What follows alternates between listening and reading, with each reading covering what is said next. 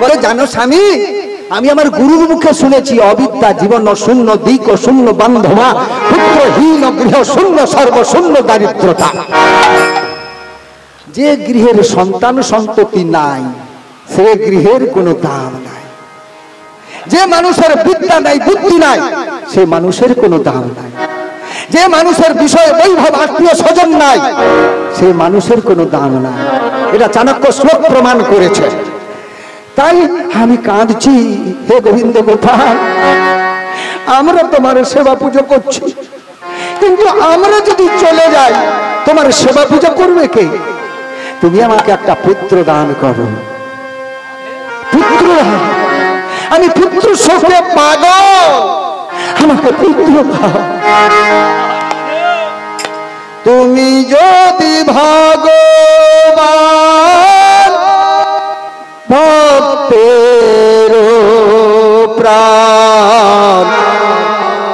তবে কেন দুঃখ দাও দয়াল? তবে কেন দুঃখ দাও? তুমি যদি ভগবান, ভক্তের তবে কেন দুঃখ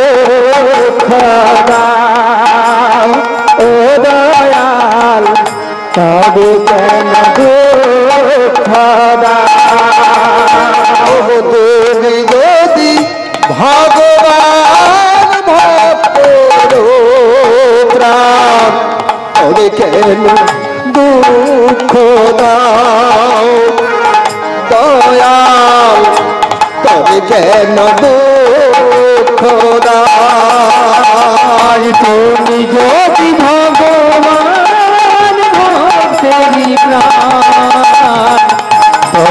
কেন দুঃখ ও দয়াল তবে কেন দুঃখ তোমারই কামনা তোমারই বাসনা তবে কেন দুঃখ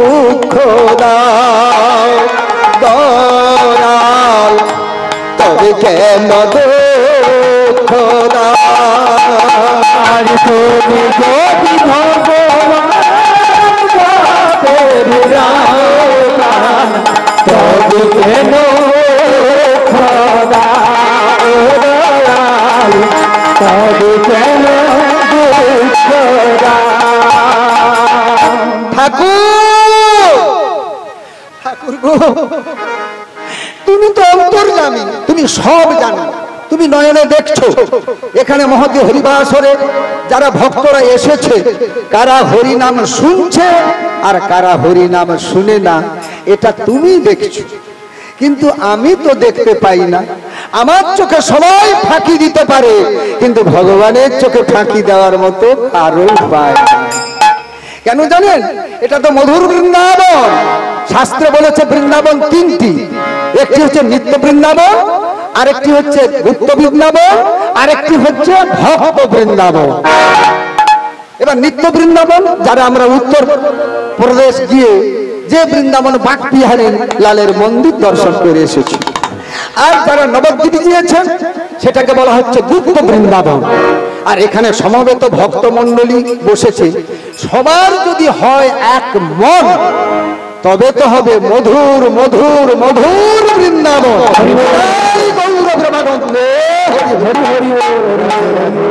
কেন জানেন বাবা, মন তো সবার ঠিক নাই। কেন রাত্রি হয়ে যাচ্ছে, অনেকে ভাবছে, যদি প্রসাদ দুটি পেটে পড়ে তাহলে আমি পালিয়ে যাব। কেন জানেন, আমি ঘরে তালাটা বন্ধক দিয়ে এসেছি, চাবিটা ঠিক লাগছে কিনা ট্রেনে তো দেখা হয় না। আবার কেউ কেউ বসেছে হরিনাম শুনছে, সে মাঝে মাঝে বাঁ হাত দিয়ে দেখছে আমার জুতা জড়াটা ঠিক আছে কিনা। তাহলে মন কি ঠিক আছে? মন নাই। তাহলে ভগবান মিলবে কি করে? ভগবানকে মিলাতে হলে মনকে এক করতে হবে। সেটা কীরকম?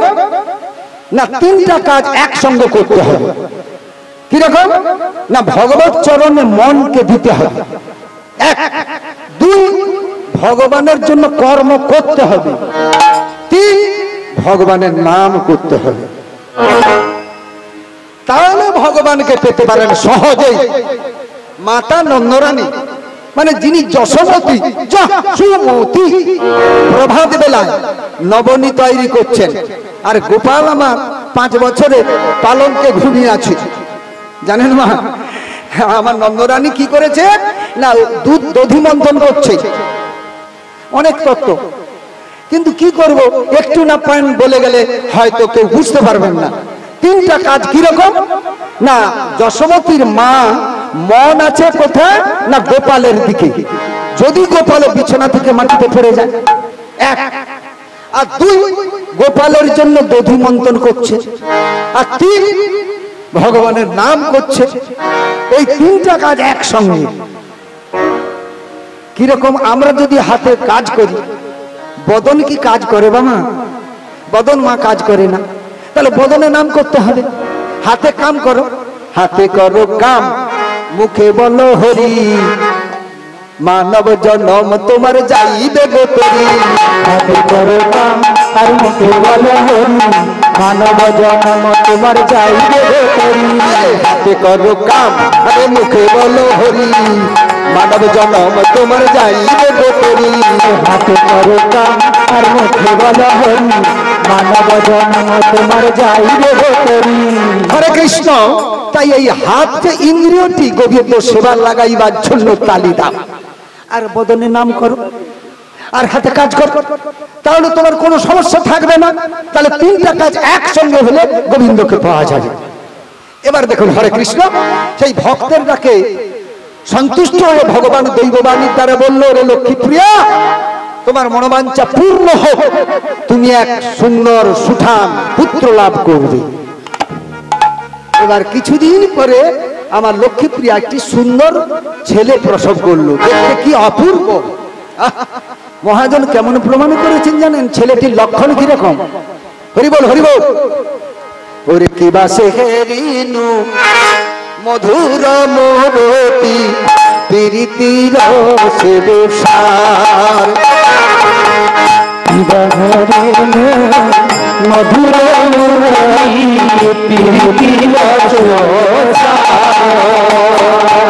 আরে কি বাসে হেরিনু মধুর মোরতি প্রীতির সেবে সার বাসে মধুর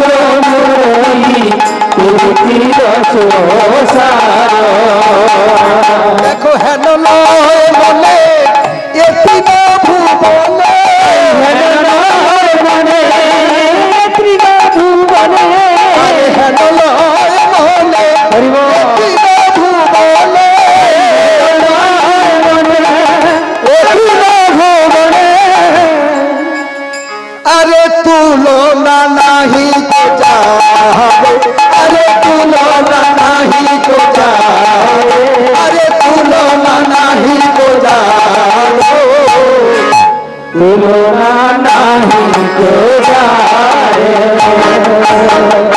যারে তুলনা কাজে সাজে যারে তুলনা অন্য জনে ঠেঙ্গা বাজে যার তুলনা কাজে সাজে। অন্য জনে হোনা বাজে যার তুলনা অপূর্ব একটি সুন্দর সুঠাম সন্তান লাভ করল যাহা জগতে তুলনা হয় না, এত সুন্দর সুঠাম সন্তান গোপাল রূপে লক্ষ্মীপ্রিয়া একটি সন্তান জন্মগ্রহণ করলেন। সেই সন্তান পরে পরে বড় হলো, অন্ন প্রাসন্ন হলো, ভিক্ষা শিক্ষা করে বৈষ্ণব সেবা দিলেন, ঠাকুর প্রসাদ করলেন, নিরামিষ। এইভাবে কিছুদিন কেটে গেল।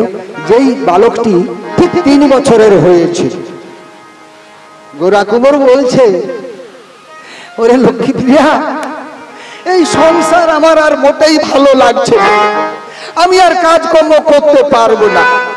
তুমি কি করবে? না, আমি বসে বসে শুধু হরিনাম করব। আরে, শুধু হরিনাম করলে দিন চলবে। আরে, তুমি বদনে হরিনাম করো আর হাতে কাজ করো। তাহলে সংসার চলবে। যদি হাড়ি কলসি না বানাও, বাজারে যদি না বিক্রি করো তাহলে সংসার চলবে কি করে? তুমি হরিনাম করো আর হাতে হাড়ি কলসি বানাও তবে সংসার চলবে। বলে, ঠিক আছে, আমি নামও করছি আর হাড়ি কলসি তৈরি করছি। ওরে কৃষ্ণ ভগবান।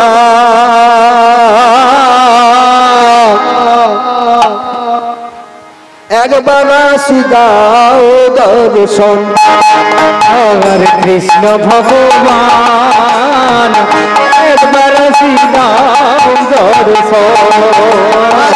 কৃষ্ণ ভগবান একবার দর্শন কৃষ্ণ ভগবান একবার সিদাও দর্শন দেখা দিয়া প্রাণ জুড়া হে দিয়া প্রাণ জুড়া হয়ে দেখা দিয়া প্রাণ হে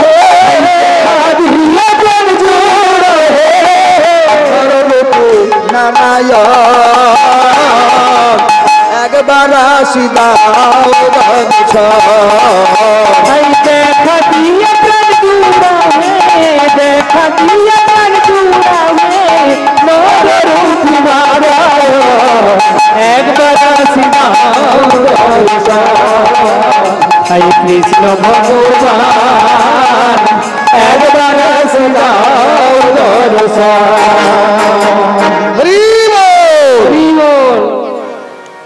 গোরা হাতে নাম কাজ করছে আর মুখে নাম বলছে। কিন্তু যে হাড়ি কলসি বানালে সংসার চলবে, সেটা আর হয় কেন সে তো কৃষ্ণ নামে পাগল? যেমন কৈলাসপতি শিব পাগল হয়ে গেছে। নদের নিমাই সে যেমন পাগল হয়ে গেছে। রানী মীরাবাই যেমন পাগল হয়ে গেছে। তেমনি গোরা কুমার হরি নামে পাগল। হরি বল হরি বল।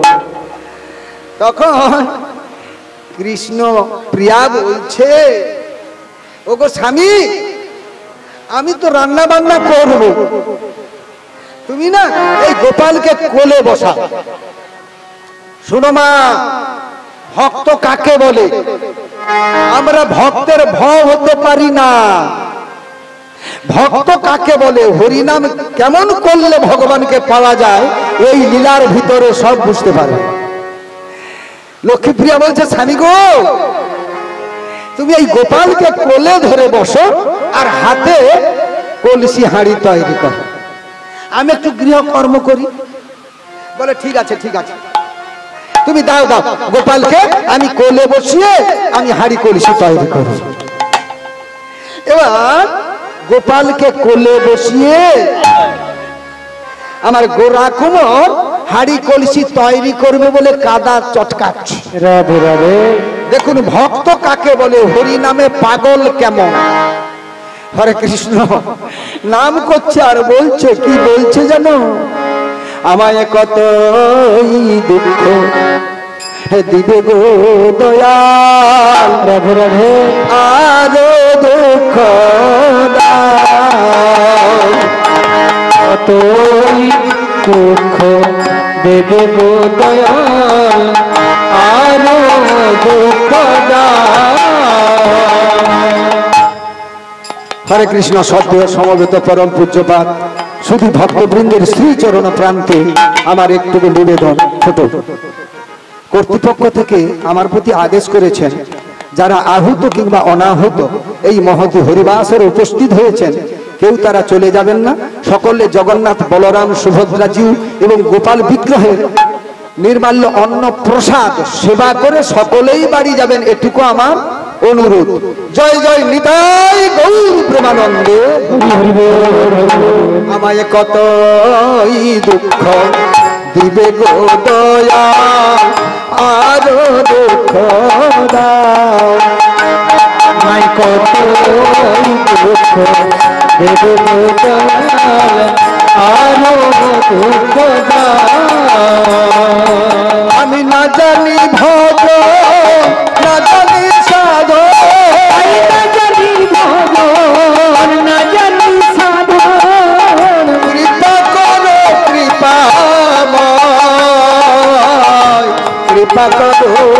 পাবন আমি না জানি ভজন না জানি পূজন না জানি ভজন না জানি পূজন কৃপা কৃপা কৃষ্ণ ভগবান আজ বারে কো আমায় কৃপা করো হে কৃপা করো করুণার সাগর হে ভগবান, বারে কো আমায় কৃপা করো করুণার সাগর ও হে ভগবান, বারে গো আমার কৃপা করো হরে কৃষ্ণ, সমবেত ভক্তমণ্ডলীর উদ্দেশ্যে আমি জানাচ্ছি, বাবা, আপনারা একটু দয়া করে ধৈর্য ধরে বসুন, সবাই একসঙ্গে উঠবেন না। কারণ ভক্ত না থাকলে কীর্তন হবে কি করে? একটু ধৈর্য সহকারে উঠুন, প্রসাদ পাবেন, আবার এসে বসবেন। কারণ এই হরিনাম সংকীর্তন আজ চলে গেলে কালকে আর আসবে না। কিন্তু প্রসাদ, পেটে খাওয়া, আজ না হলে কালকে পাওয়া যাবে। কিন্তু এমন একটি সুন্দর দিন, সুন্দর আসর, সুন্দর পরিবেশন, সুন্দর সমস্ত ভক্তমণ্ডলী এই জিনিসটা কিন্তু আগামীকালকে পাবেন না। দয়া করে তাই ধৈর্য সহকারে বসুন। লীলাটি পরিবেশন হচ্ছে কেমন? আমার গোরা কমর কি করেছে? মনের দুঃখে কাঁদছে আর হরিনাম করছে আর ওই কাটা চটকাচ্ছে। ওই চটকাতে চটকাতে তিন বছরের বালক। সেই গোপালকে কাদার সঙ্গে একেবারে মিষ্টক করে দিয়েছে। হরে কৃষ্ণ, বলুন তো বাবা, তার বাহ্য জ্ঞান আছে? ওই যে কাদাকে থাসছিল চটকাচ্ছিল তার সঙ্গে তিন বছরের নিজের সন্তান গোপালকে কাদার সঙ্গে ফেসে ফেসে মাখিয়ে মাখিয়ে একেবারে মেরে ফেলেছে, রক্তাক্ত করে দিয়েছে। কিন্তু লক্ষ্মীপ্রিয়া মনে মনে চিন্তা করল, তাই তো আমার স্বামী অনেক সময় চুপ করে বসে আছে কেন? আমার গোপাল কোথায় গেল? দেখি। ও স্বামী স্বামী গো, তুমি কোথায়? আমার গোপাল কই? আমি গোপালকে কই? কোথাও দেখতে পাচ্ছি না। গোপাল কোথায় গেল? না জানি, গোপাল হয়তো পুকুর আছে সামনে জলে পতিত হবে। তুমি দেখে রেখেছো তো? লক্ষ্য রেখেছো আমার গোপাল কোথায়? গোপাল! গোপাল! গোপাল! খুঁজতে খুঁজতে কোথাও না পেয়ে স্বামীর কাছে দেখল সদ্যজাত শিশু তিন বছরের গোপাল। গোরা কুমোর সেই মাটির সঙ্গে চটকাতে চটকাতে, থাসতে থাসতে একেবারে মেরে রক্তাক্ত করে দিয়েছে। স্বামী, তুমি কি করেছ? তুমি আমার অন্যের যষ্টি, কাঙালের ধন, মাথার মনি তুমি একেবারে শেষ করে দিয়েছ। স্বামী স্বামী গো তুমি কি করেছ? কথা বলো, স্বামী। একবার বদন তুলো। একবার চক্ষু মিলে তাকাও, তুমি কি করেছ, স্বামী? ঝর ঝর করছে, কাঁদছে। ওরে নয়নের ধারা। বহে বাহিরা। বদনে কৃষ্ণ বলে। রে নয়নের ধারায় নয়নে কৃষ্ণ ধারা ওরে শ্রীকৃষ্ণ ভজ আমার শ্রীকৃষ্ণ পূজা শ্রীকৃষ্ণ ভগবান শ্রীকৃষ্ণ পূজন শ্রীকৃষ্ণ হয় মোর ঠাকুর শ্রীকৃষ্ণ আমার প্রাণ শ্রীকৃষ্ণ আমার প্রাণ আমার শ্রীকৃষ্ণ ভজন শ্রীকৃষ্ণ ভজন আই শ্রীকৃষ্ণ ভজন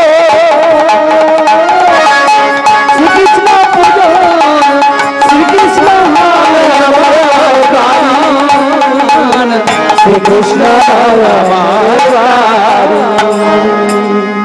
কৃষ্ণ ছাড়া রইতে নারী। কৃষ্ণ ছাড়া রহিতে নারী। নামকে বলি আজ বদন ভরি। কৃষ্ণ ছাড়া রইতে নারী। নামকে বলে বদন ভরে। কৃষ্ণ ছাড়া রহিতে নারী। নয়ন ধারায় বিগলিত ঝরঝর পড়ছে স্বামী। তুমি সব শেষ করে দিলে। স্বামী, আমি কাকে নিয়ে থাকব? গোরা কুমার বলছে, ওগো, প্রিয়ে, আমি জানি না, আমি দেখি না, আমি শুনি না, আমার বাহ্য জ্ঞান ছিল না। এ যে আমার পুত্র গোপাল, আমার ভাবনা ধারণা কিছুই ছিল না। ভগবান যখন যা করে মঙ্গলের জন্য। আমি তোমাকে বলেছিলাম, আমার বাড়িতে গোপাল বিগ্রহ আছে, তুমি তার সেবা করো। তুমি তাকে ছেড়ে দিয়ে আত্মসুখের জন্য নিজ পুত্র চাইবে ঠাকুরের কাছে। দেখো, যা আবার হয়ে গেছে, আর তো কিচ্ছু করার নেই। আমি আর কি করব, এখন কি করি? এই কথা বলা বলি হচ্ছে। ওরে কান্না কান্নি হয় রে। কান্নাকানি হয় রে বলা বলি হয় হয় রে বলা বলি হয় রে কানাকানি হয় রে বলা বলি হয় রে কান্না কান্নি হয় রে বলি হয় রে কানাকানি হয় রে। দুজন বসে বসে কাঁদছে। এই কথা বলা বলি হতে হতে পাড়া পড়শি গ্রাম নগর চতুর্দিকে ছড়িয়ে পড়ল। তখন কি হলো? না, আত্মীয় স্বজন বন্ধু বান্ধব পাড়া, পড়শি, গ্রামবাসী, এমনকি গ্রামের মোড়ল টোড়ল সবাই এসে উপস্থিত। দেখুন, বিচারটা কীরকম? গোরকম তুমি তোমার নিজ হাতে তোমার পুত্রকে বিনাশ করেছ, তার দণ্ড তোমাকে পেতে হবে। তার শাস্তি তোমাকে পেতে হবে। না, আমার শাস্তি কি হবে হুজুর? না, তোমাকে গ্রাম ছাড়া হতে হবে, আর তোমাকে গ্রাম থেকে দূর করে তাড়িয়ে দেব। তখন আর একজন মোড়ল বলছে, গ্রাম থেকে তাড়িয়ে দিলে হবে না। কেন জানো? একটা বৃক্ষকে যেমন কেটে দিলে, আবার তার গোড়া থেকে নতুন গাছের সৃষ্টি হয়। সেটা কি গাছ বলুন তো? বারবার কাটছেন, আবার বারবার শেকড় থেকে আবার ফুবড়ি উঠে গাছ হয়ে যাচ্ছে। এই গোরা কুমোরকে গ্রাম থেকে তাড়িয়ে দিলে আজকে ছেলেকে মেরেছে। কালকে স্ত্রীকে মারবে, আরও হয়তো অন্যের বাড়ির ছেলেকে মারবে। না, ওকে আমরা বিধান দিলাম, একেবারে ওর প্রাণ দণ্ড দিলাম। গোরা কুমোর বলছে, হে মুরল মশাই, হে হুজুর, আমি যেহেতু পাপ করেছি, আমাকে তো দণ্ড পেতেই হবে। তবে দেখো বাবা, আমি আত্মহত্যা মহাপাপ, শাস্ত্রে বলেছে, আমি আত্মহত্যা করব না। আমি যে হাত দিয়ে আমি আমার পুত্রকে হত্যা করেছি আমি ওই হাতটাকে কেটে দেব। এই বলে ঘর থেকে একটা কাটারি বের করে সেই হাতটাকে কেটে দিল। মোড়ল বলছে তুমি একটা হাতে তো তোমার সন্তানকে মারো না তুমি একটা হাত কেটে দিলে আর একটা হাত থেকে গেল। আমি এক হাত কেটে দিয়েছি, আর একটা হাত কাটবো কি করে? দেখল গোরা কুমোর সামনে উনুনে আগুন প্রজ্বলিত। হে গোবিন্দ! পাপ কোনোদিন বাপকে ছাড়ে না। আমি মহা পাপ করেছি, তুমি আমাকে রক্ষা করো, ক্ষমা করো। জয় শ্রীকৃষ্ণ! এই বলে গোরা কুমোর হাতটাকে প্রজ্বলিত অগ্নিতে দাও দাও করে পুড়ে ছাই করে দেবে। এবার একটা হাত কাটা, একটা হাত পুড়ে ছাই করে দিল। এবার গ্রামের মোড়ল মশাই, যারা এসছিল বিচার করতে পেরে, বাহ, এবার ঠিক হয়েছে। এবার বেটার যোগ্য শাস্তি হয়েছে, চল, এবার আমরা পালিয়ে যাই। ওরে দলে দলে তারা দেখো গেল পলাইয়ে। দলে দলে তারা দেখো গেল বলাইয়া দলে দলে তারা দেখো গেল পলাইয়া। গেলে গেলে তারা দেখো গেলে বলাইয়া হরি নাম কৃষ্ণ নাম বলে বদন ভরিয়া হরি নাম কৃষ্ণ নাম বদন ভরিয়া আরে হরি নাম কৃষ্ণ নাম বদন ভরিয়া আরে হরি নাম কৃষ্ণ নাম বদল ভরিয়া হরি নাম কৃষ্ণ নাম বদল ভরিয়া হরি বল বলে রে হরি বল বল রে হরি বল বলে হরি বল বল রে প্রেমানন্দ বাহু হরি বল বল রে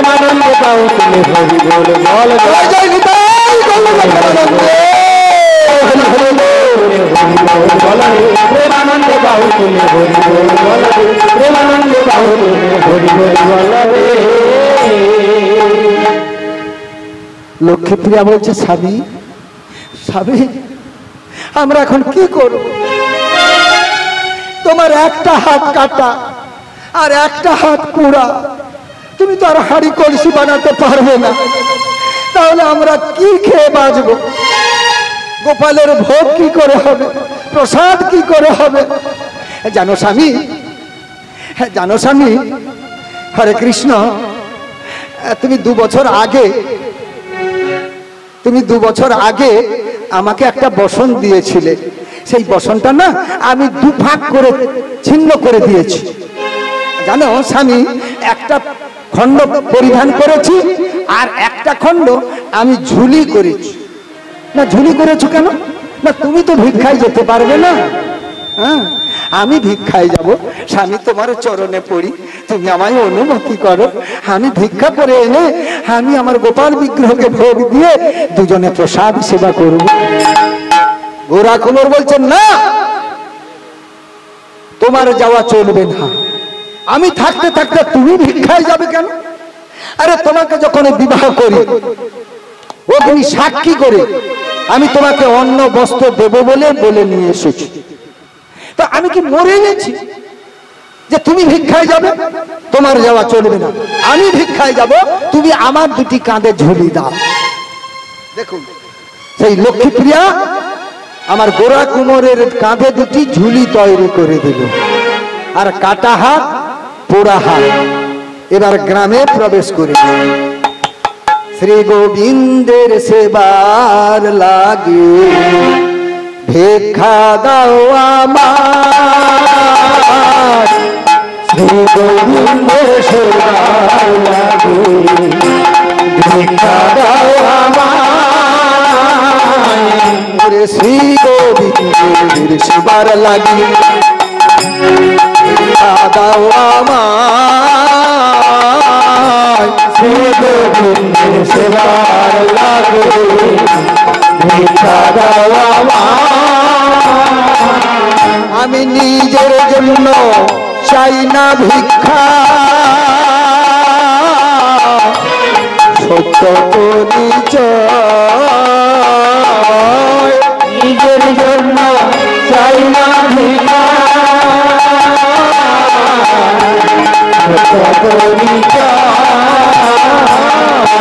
শ্রী গোবিন্দের সুয়ার লাগে আজ ভিক্ষা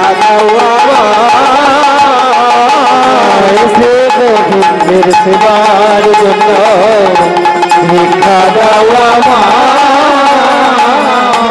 ভিক্ষার লাগে দারে দারে নামকে বলি বদন ভোরে ভিক্ষার জন্য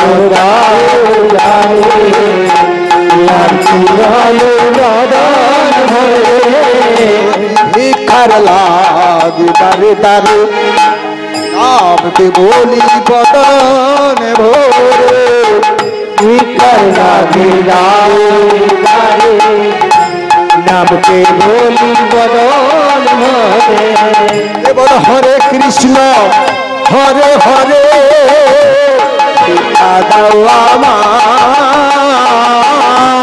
হরে কৃষ্ণ হরে হরে। ভিক্ষা দাও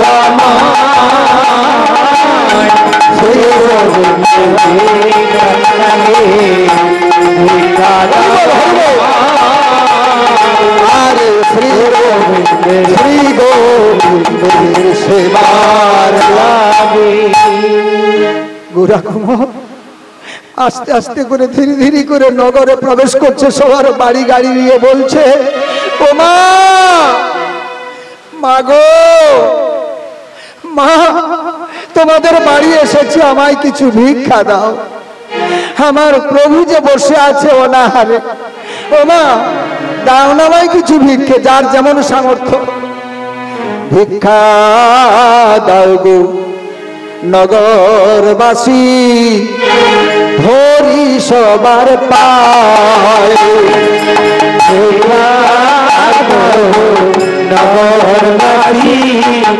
ধরি সবার পা ভিক্ষা দাও গো নগরবাসী সবার পায়।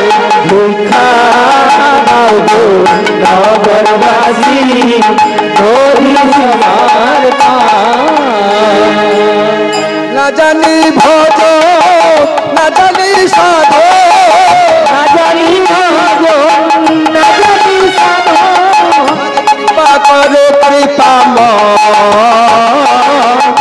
কৃপা করো কৃপাম না জানি না জানি সাধন,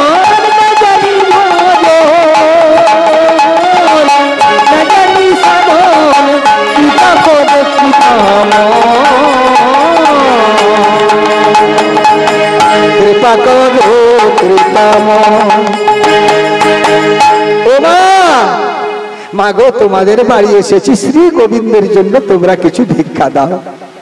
কি করে কোন নিজের পুত্রকে বধ করে দুটি হাত তো গিয়েছে। তুমি বদনে কি বলছো? ভিক্ষা দাও গো, নগরবাসী, ধরি তোমার পায়। আরে, তুমি পায় কি করে ধরবে? হরে কৃষ্ণ, জয় নিতাই যে ভক্তটি আমার উপহার তুলে দিলেন, গোবিন্দ সেবার লাগে। আমি গোপাল বিগ্রহের চরণে প্রার্থনা করি, জগন্নাথ বলরাম সুভদ্রা যে চরণে প্রার্থনা করি। হে মহাপ্রভু, তুমি ওই ভক্তকে কৃপা করো। ওর আত্মীয় স্বজন বন্ধু বান্ধব স্ত্রী, পুত্র কলত্রাদিকে সবাইকে তুমি কৃষ্ণ ভক্তি দান করো। যেন কৃষ্ণ পদে মতি হয়, কৃষ্ণ ভক্তি লাভ হয়। রোগ, শোক, জরা, ব্যাধি থেকে যেন মুক্তি দান করেন। জয় জয়, নিতাই গৌর প্রেমানন্দে। হরি হরি হরে। কৃষ্ণ। আরে তোমার হাত নেই, তুমি বলছো ধরি সবার পা আরে পায়ে ধরো, তাহলে তোমাকে আমরা ভিক্ষে দেব। না, আমি পায়ে ধরবো কি করে? আমার তো দুটো হাত নেই, আমি পায়ে ধরবো কি করে? না, তুমি যেমন পায়ে ধরতে পারবে না, তোমার হাত নেই, আমরা তোমাকে কি ভিক্ষা দেবো জানো? ওই ইট, পাটকাল, বালি, ঢিলা এইগুলো গোরা কুমোরের ওই দুটি ঝুলিতে ভর্তি করে দিই বলে, যা, এইগুলো নিয়ে যা ভিক্ষা। এবারে গোরা কুমোর মনের দুঃখে বলছে, প্রভু প্রভু, যেমন কর্মের তেমন ফল, প্রভু আমি যেমন কর্ম করেছি, তেমন ফল পাচ্ছি জয় নিতাই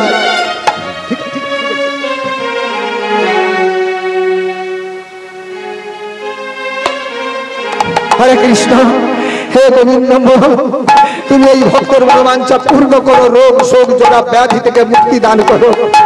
গোবিন্দ সেবার নিমিত্তে ইনি একশো টাকা উপহার তুলে দিলেন।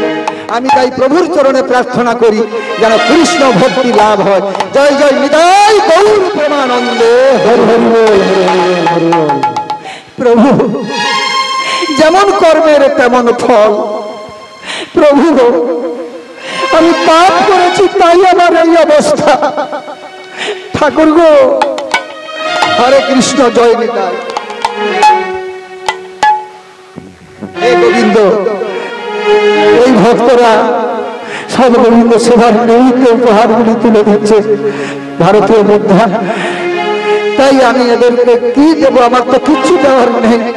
তাই মহাপ্রভুর চরণে আমি প্রার্থনা করি, এদেরকে কৃষ্ণ ভক্তি দান করো, যেন কৃষ্ণ পদমতি হয়। হৃদয় গৌর প্রেমানন্দে। প্রভু, যেমন কর্মের তেমন শাস্তি। ঠিক আছে তাই হোক, আমি ওই ইট পাটকেল, এই ঝুলি ভর্তি নিয়ে গিয়ে আমি কৃষ্ণ প্রিয়াকে দেব। এই বলে আজ কি করেছে? দুঃখ আর নাই, আনন্দ। ওরে মনে রে আনন্দে চলে, ওরে মানে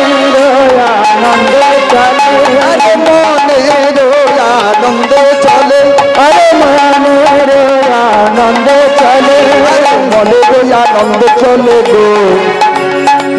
ভক্ত গো রাকুমর ওরে মানে রে চলে। ওরে মানে চলে। মানে রে চলে গো।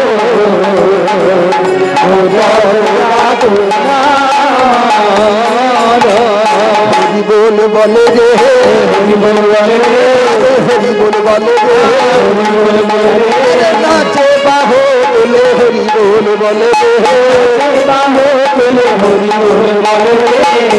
হরি বল হরি বল, হরি কৃষ্ণ প্রিয়া ভেতর থেকে বেরিয়ে আসছে, আমার স্বামী ভিক্ষা থেকে এসে গেছে। কি আনন্দ। স্বামী? স্বামী গো তুমি ভিক্ষা নিয়েছো তো দাও দাও। কতগুলি ভিক্ষা পেয়েছ? আহা ঝুলি ভর্তি। যেই লক্ষ্যে প্রিয়া মা সেই ঝুলির দিকে দর্শন কইল দর্শন করিল। সেই ঝুলির ভিতরে অর্থ চাল ডাল না দেখে দেখতে পেল কি? না ইট বালি পাটকেল মাটি ঢিলা।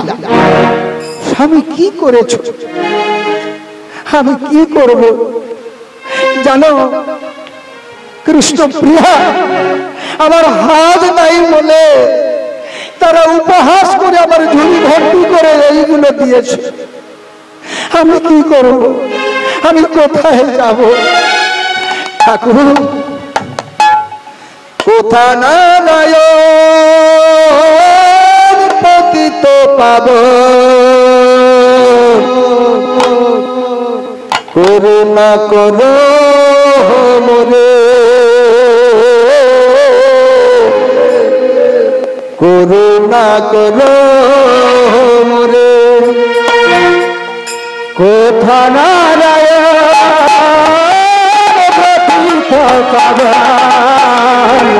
করুণা কর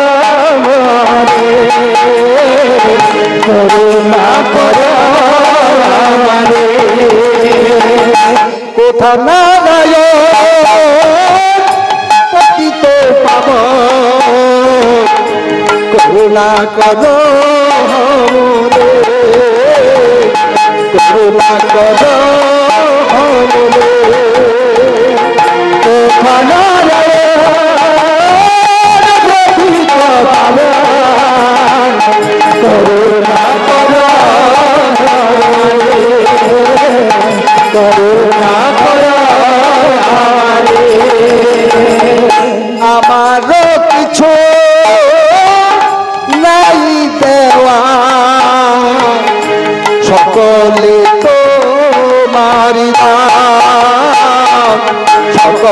সকলে তো মারিনা আমারি কিছু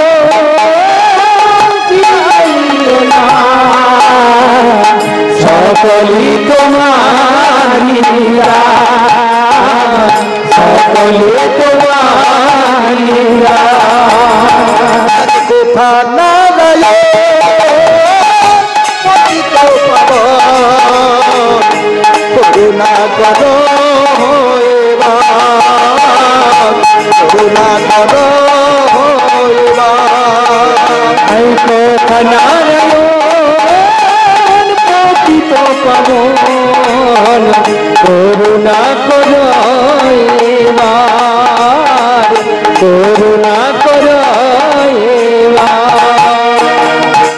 কৃষ্ণ স্বামী স্ত্রী দুজনে অধর নয়নে কাঁদছে ঠাকুরের কাছে বসে বসে।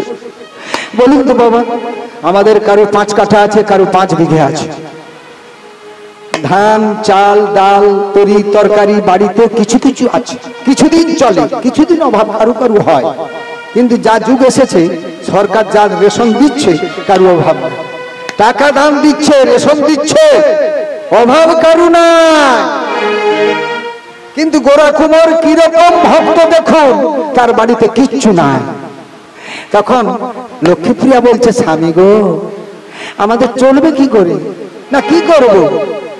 ওই গঙ্গার জল আর তুলসী পত্র, এটাই আমাদের নিত্য সেবা হবে। ঠিক আছে, তাই হবে দেখো স্ত্রীকে বোঝা যায় কি করে? প্রকৃত যে সতী সাবিত্রী, পত্নী স্ত্রী কি করে? না স্বামীর যখন কষ্ট হবে স্বামীর যখন